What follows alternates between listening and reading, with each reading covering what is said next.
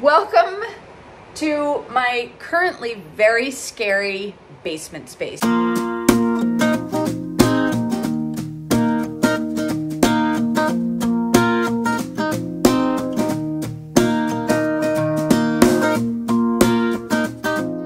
I am not going to spend a fortune on this basement, but I am going to spend a little bit of time trying to make it feel a little bit more inviting. This is a large basement and this is a huge selling point for this house. If I lived in this house, this would immediately become a place for my kids to come and hang out. Right now, it very much looks like a place that I would use for storage. I want to plant the idea in their head that it could be used as a functional design space. So I'm going to clean it up. I think I'm gonna pull out that desk as well. It is certainly useful space, but I think if this room is wide open, that would feel a little bit nicer. There's a piece of plywood on the back wall. I'd love to get rid of that. And then if I walk back through here, I have already addressed the laundry room. I shared this laundry room makeover only on Instagram, so you can go back and see my reel, but here is the Cliff Notes.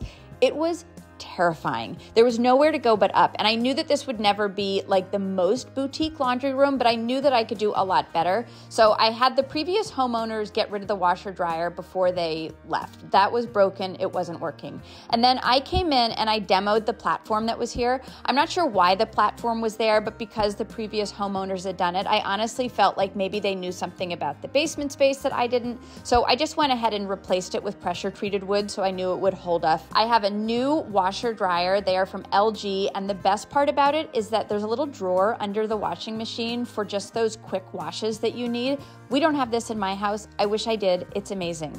I went ahead and I painted all the walls and the floors. Again, this is a little bit lipstick on a pig because this space is never going to be beautiful, but painting it all white made a huge difference. If this were my house, I probably wouldn't hang out down here and fold laundry per se, but I definitely would come down here and have a bunch of laundry baskets going and there's a ton of space and I would set up a table and I don't think it's an awful space whatsoever. Right now, the biggest pain point is obviously the ceiling. I have priced it out to drywall the ceiling and it is not cheap.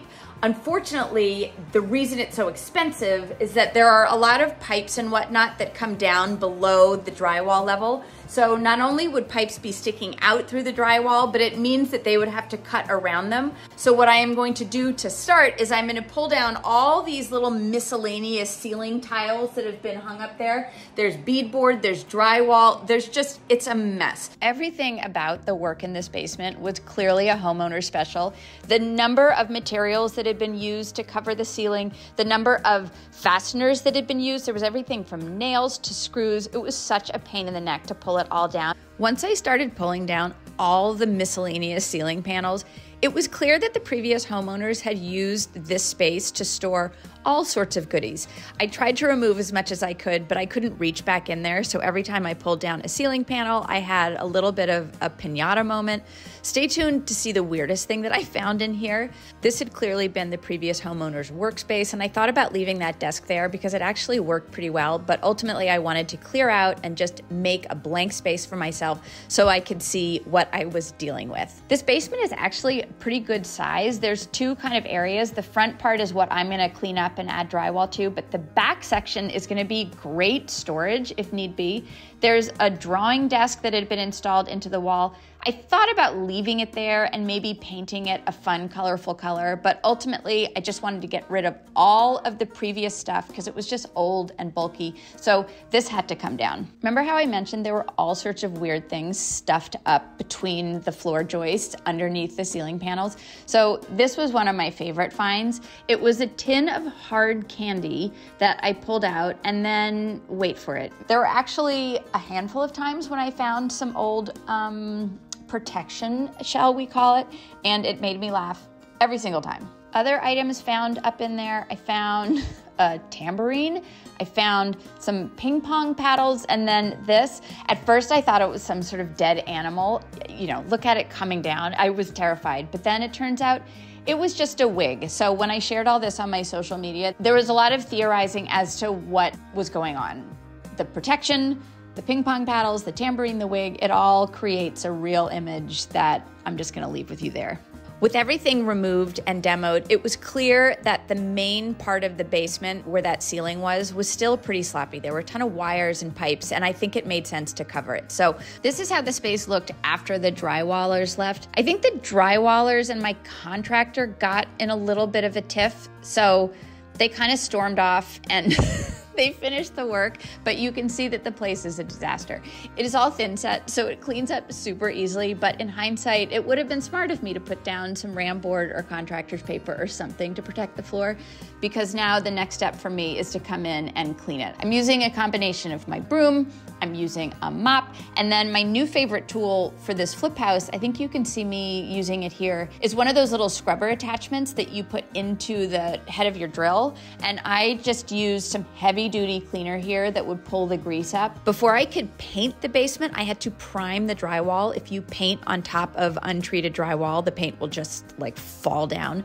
This is me priming all the drywall that had just been patched and replaced. Kind of tedious, but has to happen. You'll also notice that the pipes that are coming down through the drywall, they are no longer that mustard yellow. I painted them with a high heat oil paint, so that was a huge improvement. And then came time for me to tape off the entire space so that I could come through with my sprayer. At this point, I am comfortable with my sprayer. We don't get in fights anymore. So I went through with that same flat paint that I used for the rest of the house. I was able to do the walls and the ceiling all at once. The best part about these can lights is that the newer models, they just unclip and they can pull down from the ceiling, so it was really easy to paint around them. I use this paint sprayer a ton in this house, and I Love it. This thing is the best. But I will say, paint sprayers are still such a pain in the neck. There's so much cleaning involved. Maybe if it had been in the summer and I could have just pulled it out and kind of hosed things off, it would have felt different. But it was in the winter, it was cold. Cleaning all the parts outside was just miserable. So I don't know. I don't know if I'm team paint sprayer or not. I mean, I'm team paint sprayer because look, I painted an entire house by myself in three or four days. So I can't lie that that is incredible. But I don't know, maybe can I hire someone to come in and just clean the paint sprayer? Is that a thing?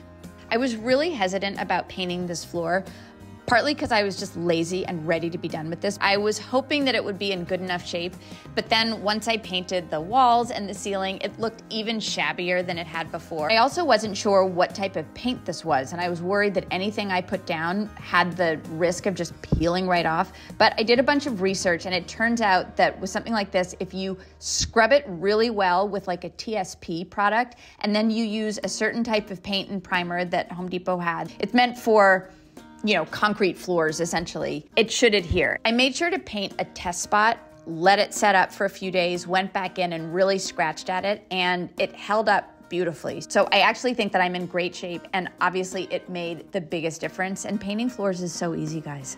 The molding in the other part of the basement was not cute. I also don't even know if it was meant to be window molding, so it was a lot easier just to replace it all with this clean, basic 1x3 pine. My contractor helped out and built a box that sort of fit into that window well. So what you see me doing here is I'm just adding the decorative trim. I used my brad nailer to nail the trim pieces in place, and then I went back and I patched it, at this point in the process, I just wanted to be done with it. So doing trim work was probably not the best idea because my attention to detail was not exactly where it could be, but it looks great. I went ahead and I repainted all the windows and they look clean and bright and it made a huge difference. And it's fine.